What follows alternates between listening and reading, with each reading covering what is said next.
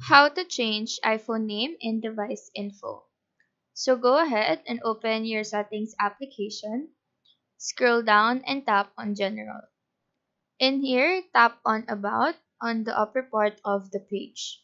The first option and this is where you can change the name of your device. Now simply tap on the name option. In here, click on the X icon. This is to remove the current name of your iPhone device. Another thing you can add besides your name is special characters. So for example, I will be adding this character and additionally, you can also add emojis.